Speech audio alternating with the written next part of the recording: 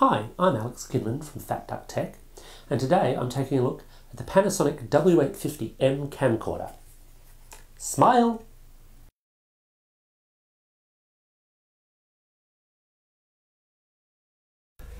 The HC8850M is Panasonic's latest high-definition camcorder, and from a technical perspective it hits the points you'd expect it to hit.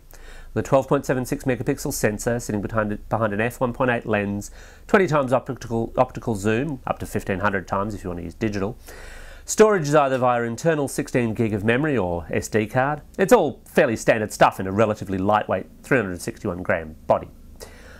That's not going to be enough for most people in this day and age to splurge on a new camcorder though, so the W850M has an extra trick up its sleeve, or to be more accurate, an extra lens. A small rotary lens that sits on the side of the flip-out LCD display and pops slowly into life when you rotate it outwards. It's only a 5.27 megapixel lens, which suggests that it's much lower quality than the primary lens sensor. But that's not actually the case because the primary sensor sells itself on its higher quality sensor, but its effective sensor quality is actually only around 6 megapixels. The central idea is that you could use it to record your facial expressions while looking at a suitable tourist scene, or gain an additional angle on any given scene, because you're not simply limited to using it in a rear-facing capacity. It can be flipped entirely forwards to give a small window view of whatever you're looking at, tilted to whatever angle you've got the screen at. Video quality is actually quite good from the primary lens. You can change the bitrate, you can alter the focus and the white balance as you'd expect with just about any normal camcorder. The inbuilt microphones have good audio pickup and reasonable window isolation. And overall, if you're shooting basic video, this works quite well. In order to sell, camcorders need to be relatively simple to use, and on this score, the HCW850M performs admirably well, with a simple touchscreen interface and very few actual button controls, aside from an optional manual control dial located on the front side of the device. There are some issues with the 850M. The secondary lens certainly works, but it's very much a fixed mode lens. You can adjust variables for white balance and focus and so on on the primary lens, but not on the secondary one at all, which means your inset videos are highly likely to have a different contrast to your main picture. When recording with the second lens, there's a pause of around a second or so while it gets focused and comes on, which could of course lead to the odd missed shot.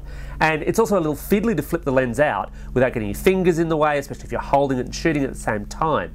You're also quite likely, as I discovered, to end up with some fairly unflattering photos of yourself if you're using it in selfie mode because you're more than likely going to have it quite close to your face. That's a bit of a learning curve issue.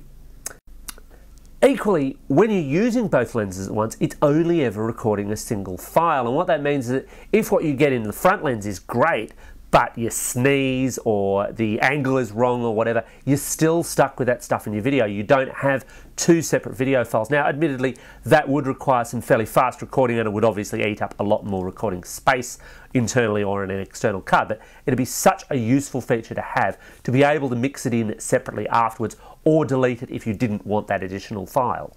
So the question is, should you buy the W850M? Well, that depends on what you want. If you want a camcorder, yeah, look, I can't criticize it as a camcorder. As a basic camcorder, it's functionally fine.